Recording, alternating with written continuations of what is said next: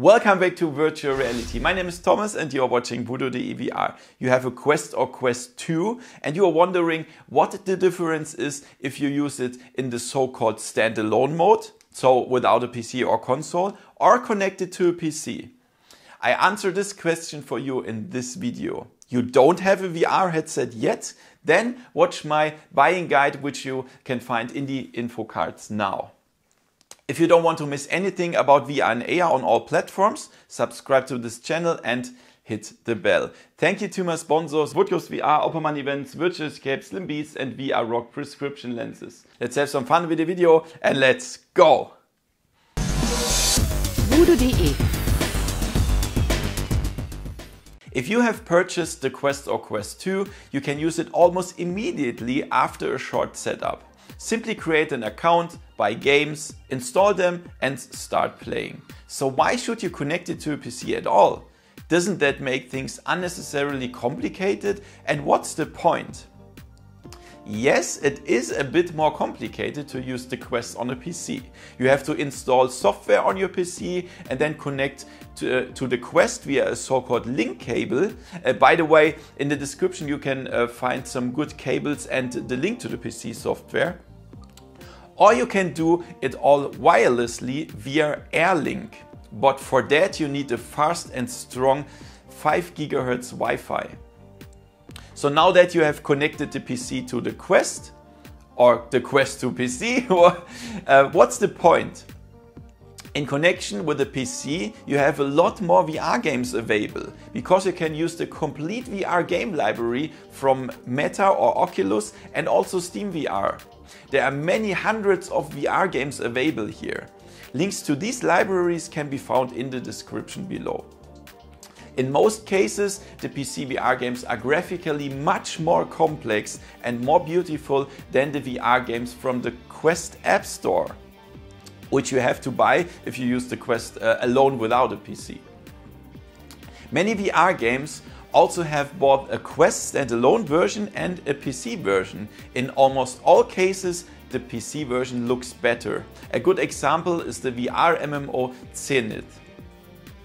The reason is simple, if you play connected to the PC, then the PC takes over the entire computing power, which otherwise the Quest has to do on its own. Since PCs with their CPUs and graphic cards in most cases have much more computing power than the integrated hardware of the Quest, much more detailed games can be displayed.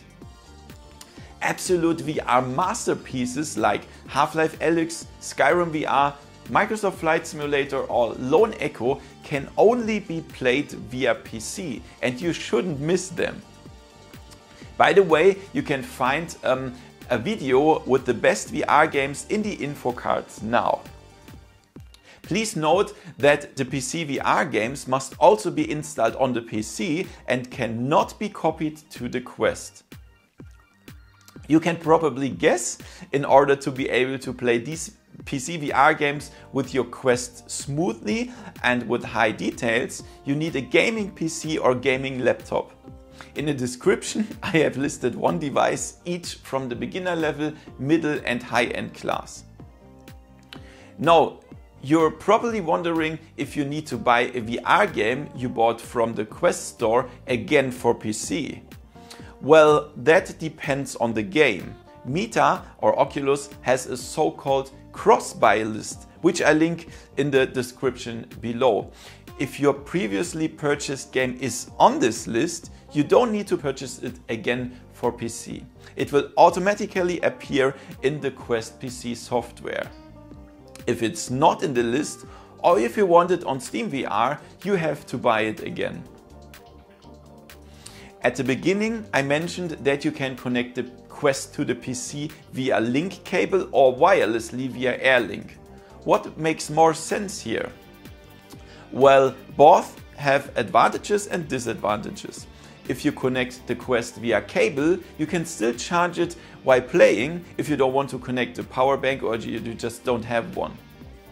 In addition, the graphics are a bit sharper and the response time is a bit better than without a cable.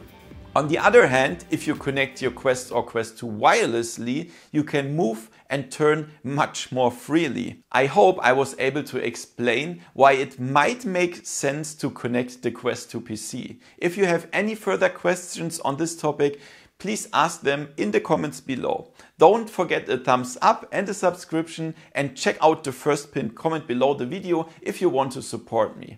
Thanks for watching and see you next time in virtual reality. See ya! voodoo.de